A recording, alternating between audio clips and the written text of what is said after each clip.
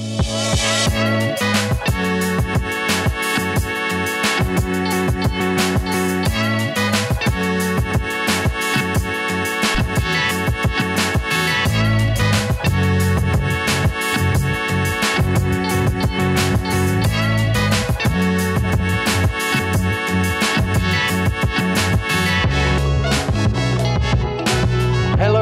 everyone, welcome to the north coast of the Dominican Republic.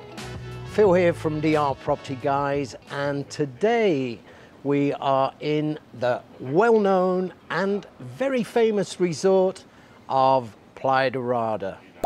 And we're going to take you for a quick look round, but we want to talk to you a little bit about the history of Playa Dorada and talk about the changes that are happening here. So the concept of the resort of Playa Dorada came together in the early 1970s and it was found on 7,000 hectares of prime beachfront location. There's a beach here of 1.9 kilometers. It really is a very beautiful place.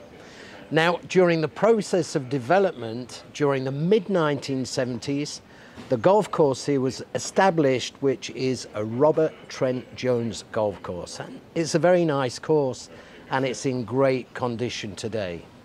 And slowly and surely, all of the hotels grew around it. And this really became the spark of tourism here in the Dominican Republic. This is really where tourism began. And the other famous point about Playa is that this is really where the concept of all-inclusive hotels began. Playa Dorada is located 15 minutes west from Puerto Plata International Airport and is just on the periphery of Puerto Plata City. The first hotel to open here was the famous Jack Tar Village and Casino, and that was back in 1980. And it was named after the Jack Tar sailors of British descent. Now, that was the first of an anticipated 10 hotels that were eventually surpassed within the Playa Dorada area. Playa Dorada became known and became famous as the first all-inclusive resort in the world and at that time, it attracted travelers from all over the world. Back in the day, you couldn't get a room here for love or money. There were overbookings all over the place. This whole area was full. The casinos were busy, the nightclubs were busy. There really was an incredible ambience here back in the day. And I know because I was here. With the success of Playa Dorada as an all-inclusive resort, it seemed that the whole world wanted to know the secret, how it worked, what made it happen, and everyone kind of jumped on board. Now, the biggest secret to all-inclusive is having larger hotels, and this is where the business really transferred from Playa Dorada down to the East Coast, where you'll find Punta Cana and larger hotels were built with a capacity in excess of 2,000 rooms, which meant that they could operate more effectively. And so consequently, the business moved from Playa Dorada down to Punta Cana.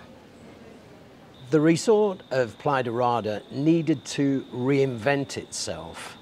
And from the time when the business moved from the north coast to Punta Cana, Slowly, it made its transition. Right now, there are eight hotels here in Playa Dorada with 3,000 rooms and five condo projects with 1,500 rooms, bringing employment to 3,000 people. And it's anticipated that this will grow in the future. All of this being said, Playa Dorada is still a great place to invest. There are lots of things to do here. As I mentioned, there's a golf course, there's a fit trail with outdoor gymnasium, there's tennis, you have a variety of bars and restaurants, and water sports, paddleboarding, you name it, is all here. And generally it's quieter during the weeks, as you can see, and gets a little bit busier during the weekends.